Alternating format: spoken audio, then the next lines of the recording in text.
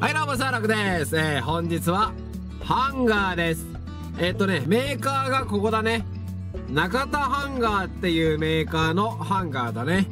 何種類かある中の、えーいくつかを見ていこうかと思います。それでは、行ってみましょう。はい、それじゃあね、こちらのハンガーから見ていきましょう。どうよ、この質感。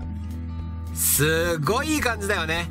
えっ、とね、これ確か3いくらしたような気がします。えー相当高いハンガーです。やっぱこういうやつになるとね、あのー、2本をくっつけて作ってあるのが多いんだけど、これは1本から削り出して作ってあるみたいだね。こんな感じでね。しかもこのかけるところは、えーちゃんと回ります。こんな感じで。回すことができます。まあそんなところかなまあとりあえずこういうハンガーでございます肩口もちょっと広くなっててあの洋服の型崩れのね防止にはなるかなこういう感じのデザインでございます。これがまず1本目だね。はい2本目がこういうデザインでございます。いい感じだね。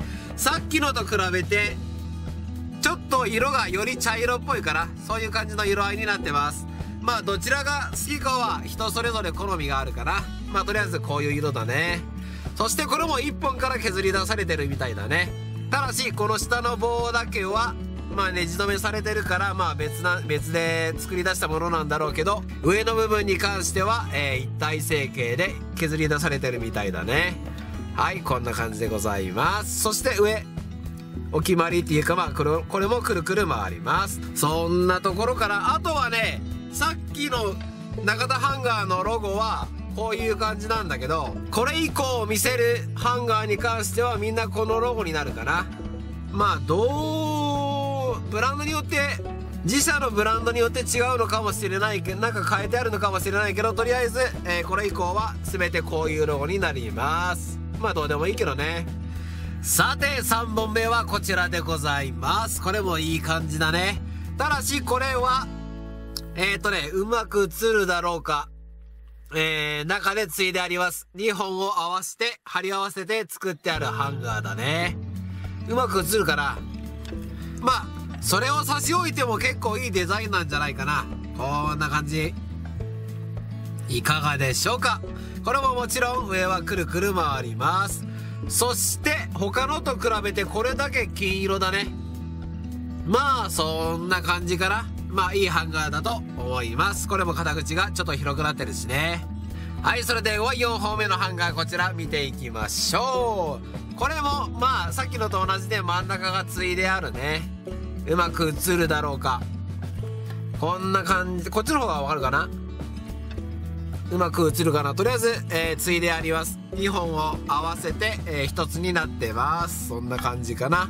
さっきのと比べてハンガーの部分の根元がこれはね普通になんか刺してあるだけって感じだね。まあそういう違いはあるけれどうまく映るだろうか。そういう違いはあるけれどえーこれもくるくる回すことができます。そんな感じかな。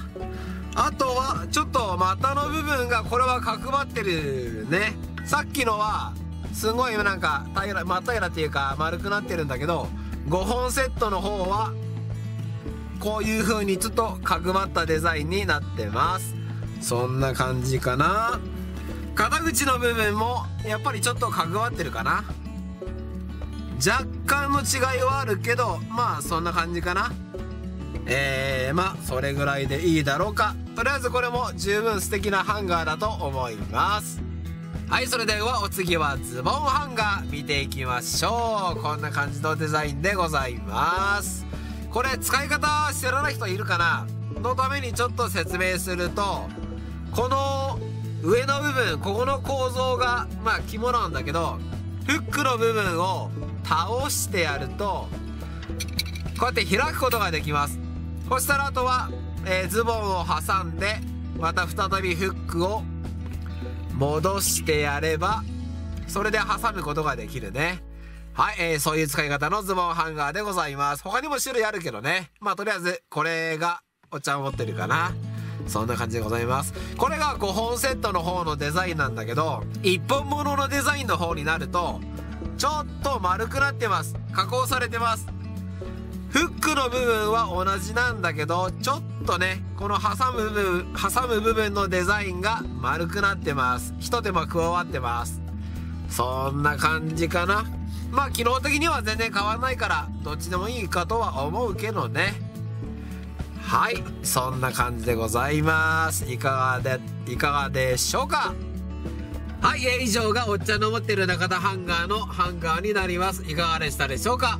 えー、他にもね、ベルト用のハンガーとか、ネクタイ用のハンガーとか、そういうなんか専用設計っていうか、専用に作られたデザインのハンガーもあるみたいだから、えー、まあ気になる人を調べてみてもいいんじゃないでしょうか。